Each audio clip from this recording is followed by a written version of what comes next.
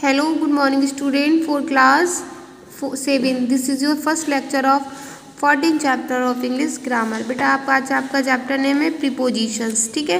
बेटा, सबसे पहले हम बात करेंगे जो प्रीपोजिशंस होते हैं, वो होते क्या हैं? A preposition is a word use press before a noun and pronoun जो, वो वैसे वर्ड वर्ड्स होते हैं जिनको हम यूज़ करते हैं नाउन या प्रोनाउन से पहले।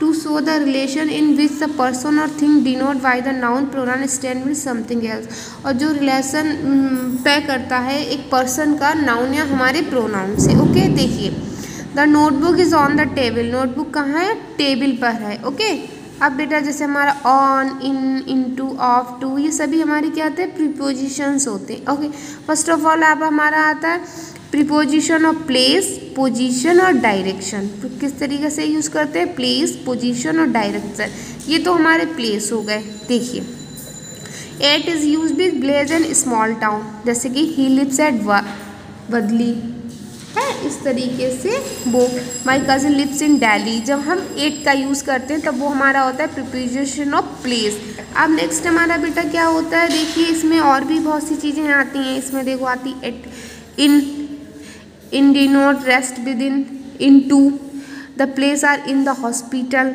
मतलब जब वो हॉस्पिटल में तभी तो प्लेस है। He ran into the room into the river okay फिर हमारा बिटवीन आ जाता है और अमोंग आ जाता है, देखो। The mother divided the sweets between his two sons मतलब माता ने दो एमोंग एमोंग आता है बीच के लिए, ठीक है?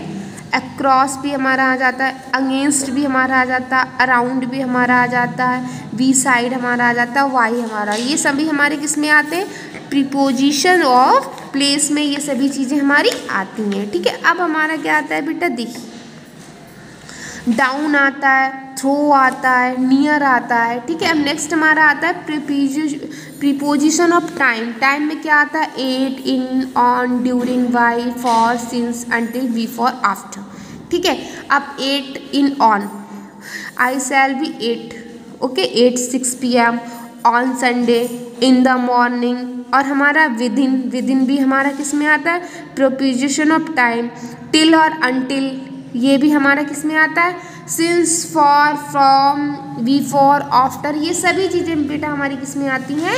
ड्यूरिंग थ्रो ये सभी चीज़ें किसमें आती हैं? हमारी प्रिपोजिशन ऑफ़ टाइम अब ये है हमारा बेटा प्रिपोजिशन ऑफ़ मैनर एजेंट और इंस्ट्रूमेंट्स इसमें बेटा क्या था? वाई देखिए the dog was killed by the M C D ठीक है? इसमें हमारे आगे manner instrument the hut was destroy by fire मतलब आग किससे नष्ट हो गई? फायर से नष्ट हो गई ओके तो इन सभी चीज़ों को अब बेटा turn your page page number ninety four पर आप देखिए, हमने आपको क्या बताया है?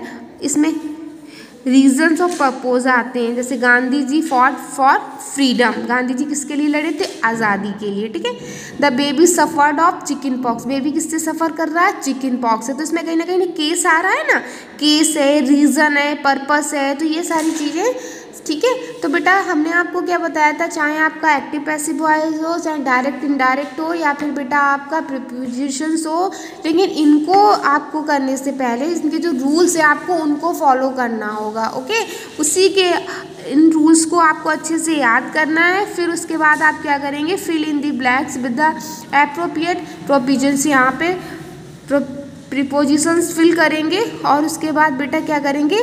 Choose the appropriate preposition fill in the blanks इसमें आपको दे रखी, वो प्रोपोजिशंस आप फिल करेंगे. Okay thank you class